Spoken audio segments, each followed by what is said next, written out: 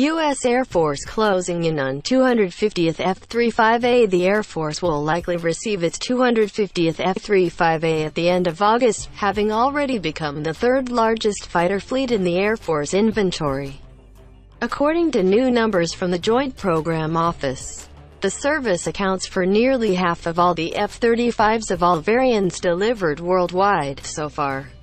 As of June 11, the Air Force had taken delivery of 241 F-35s which are deployed in training, testing, and operational squadrons, according to a July 1 statement from the Joint Program Office.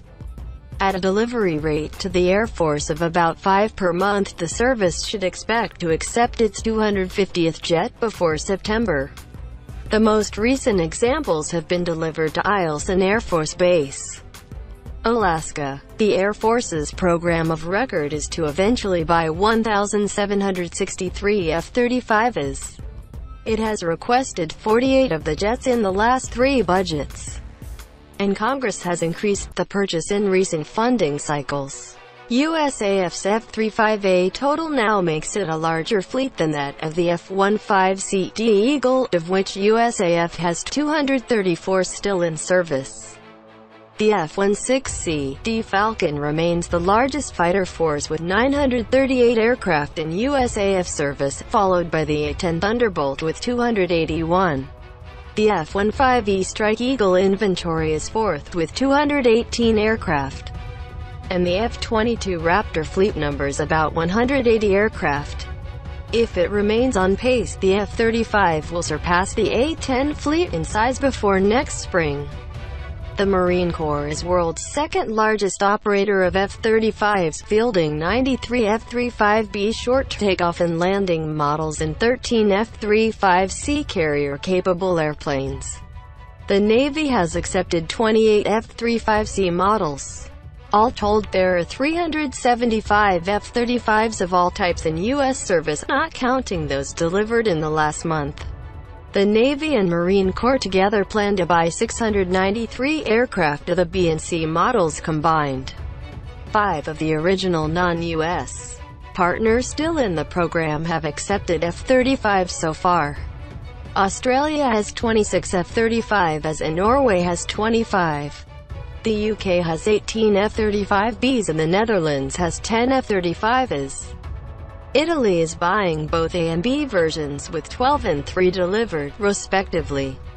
Turkey, which is no longer in the program due to its controversial purchase of Russian air defense systems, had six aircraft built in the U.S. Those will not be delivered to Turkey, and their disposition is still being discussed. A proposal in the Senate's 2021 defense bill calls for the aircraft to be turned over to the U.S. Air Force. A Pentagon spokeswoman confirmed on July 2 that Turkey will continue to deliver on contracts for 139 parts through 2022.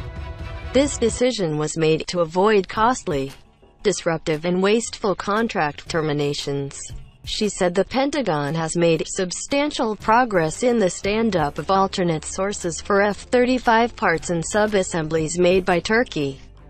The biggest of these is the center fuselage which will equip aircraft through Lot 14.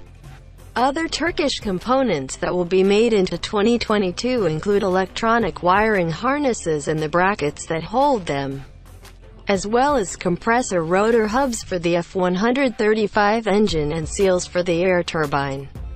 Canada is an original partner on the Joint Strike Fighter project and has identified a need for 88 F-35s but has not yet committed to the purchase. It continues to weigh the jet against the F-A-18E and the Swedish Gripen fighters. Singapore is another partner likely to buy F-35s but has not yet committed to doing so. The U.S government does not release the specific numbers of F-35 deliveries to foreign military sales countries, but 59 overall have been delivered to FMS customers so far.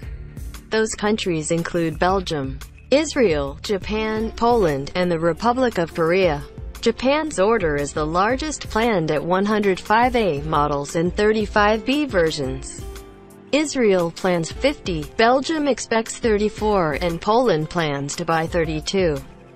South Korea expects to buy 40, though additional airframes are being considered.